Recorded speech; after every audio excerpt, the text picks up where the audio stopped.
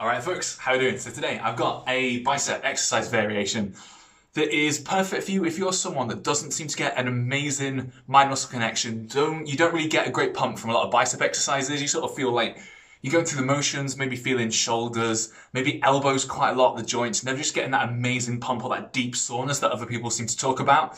Uh, so we're going to cover an exercise that's really going to hit that today.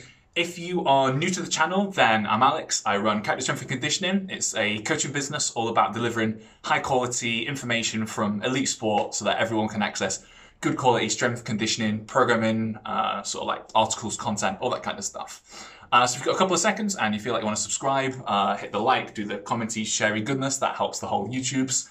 Uh, let's jump into it. So you just need a basic bench. You can tell I'm in a home gym, so a simple like 50 quid bench setup. Gonna have it on a bit of an angle, so it's not like super, super far down, a little bit of an incline. We're gonna do like a lying incline dumbbell curl. You wanna go super light with this. So this is six kilos, go slightly higher reps as well. So we're not gonna go dead heavy, not gonna go in that five to 10 rep scheme. Think more like 15 to 25, maybe even up to 30. You're gonna be back slightly, and we're gonna do, let's have the elbows behind the body and curl up from here you get that deep stretch in the biceps at the bottom, almost to the point where you can contract your triceps, and then you come back up. That deep stretch, you're gonna feel your biceps like nothing else. Try and keep elbows behind the body all the way through.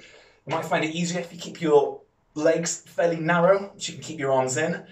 I'm gonna take this set all the way through so you can physically see that it causes a lot of goddamn pain. I'm gonna go to the far end of the set. I might even add in a sneaky little myo-rep set at the end. Oh, Holy moly, you can feel it already. Let's see if we can get to 20 plus. I Think that's 10? Blimey, 11, 12, same again. Control down, deep stretch, contract, back up. Oh, 14. You'll notice when I get tired, failure comes by me starting to just fall out of the best form a little bit. And I'll allow it a little bit because I don't mind. I think that's 17. 18, holy moly. 19, ah, my biceps are on fire. 20, oh, can we get a couple more? 21, whoo, and uh, 22. I'm gonna rest three to five seconds, a little shake out if you need. I'm gonna go straight back into another few reps, just get that last little bit. Oh, these are gonna be super effective reps because you've already got a crazy pump your muscles are already fatigued. Same again. Control down and up. Control down. Try and keep them back. Squeeze up. See if I can get five of these. oh, my form's going to hell. So I can get one more. Uh, I'm done. That is a fantastic exercise. If you've struggled to feel your biceps before, that deep stretch at the bottom and that big squeeze up at the top, I promise you, you're going to get a bicep pump like you've probably never had before. Give it a try.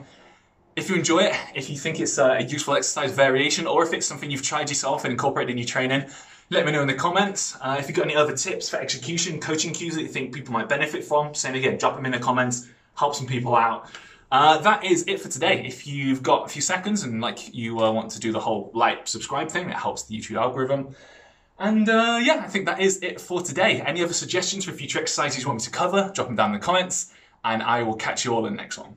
See you there.